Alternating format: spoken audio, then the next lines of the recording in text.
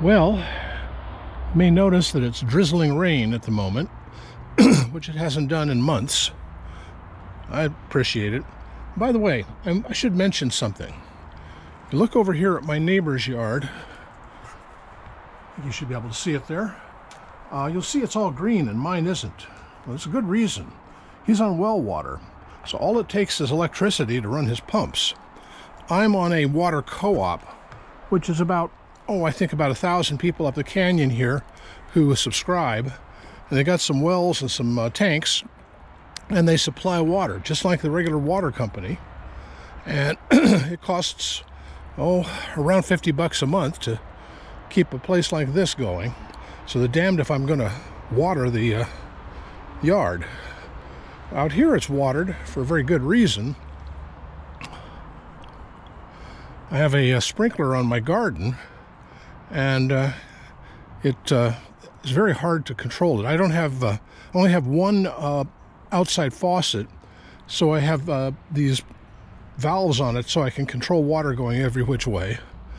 You may notice a, a fork sitting in the uh, garden there. That's because I'm in the process of digging up potatoes. It's harvest season. Damn moles. You'll notice I'm tearing down that uh, laurel uh, bush uh, wall uh, next to my neighbor's. It's hard work. I'm working on it. Why would I do that? Well, what you see there, you notice how tall those laurels are? That's about three years worth. About three years ago, I had a fellow come through and whack them all down. And, and I mean down to the ground. And this is what grew up in three years. And they encapsulate the entire backside of my yard. Uh, they need to be uh, taken out, and otherwise, I've got a problem where it runs up against the road there, and also the neighbor on this side is getting tired of having my my bushes uh, overhanging her yard. So uh, I'm working on cleaning them up. These ones here are completely infested with blackberries, so uh, I need to put on a long sleeve shirt, some uh, leather gloves, and go, go in there with a, a purpose and whack them. anyway, this is uh, how things look in the last week of fall. I mean, of September in the fall. And let me go over here to the other side of my yard. God, I still need to go and get some more firewood. I've got, I think I have plenty for the year. But I would like to get oh about another pickups load just to just to fill out a little bit more in the in the wood department.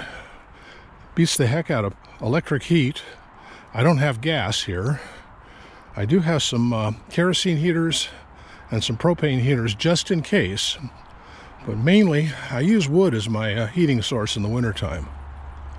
This is my shop. You've seen that many times. But let me show you the back. That, by the way, is a plum tree. And uh, that's my uh, crazy Vietnam vet's uh, garden neighbor. And this is, uh, that's my junk pile of old metal things. Every now and then I come out and pick something up and say, yeah, that'll work, and retrofit it to something else. And as you see, I have quite a bit of land. I'd like to put a storage container or two back here, put two of them, and put a roof over it and make a, uh, a little uh, garage out here. I think that would look kind of nice and it'd be extra storage. Uh, that's on my to-do list. And I need to get some tarps to cover up the this uh, saw and these tables for the winter. They were sitting in the shop, but uh, I rearranged. What I did is a cousin of mine gave me this stand here so I could put the buffer on it. So I moved this over here. And to do that, I needed this room over here, and there was a table sitting there. And there was a table sitting over here. So I pulled the table out, put this in.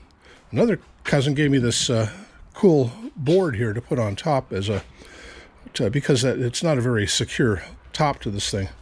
That was actually more secure.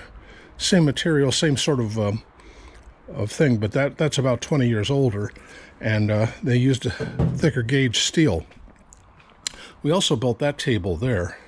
That's kind of cool. anyway, this is where I spend most of my time, and uh, I won't bore you more with it today. So, this is the uh, the look of uh, Backwoods, Oregon in 2022.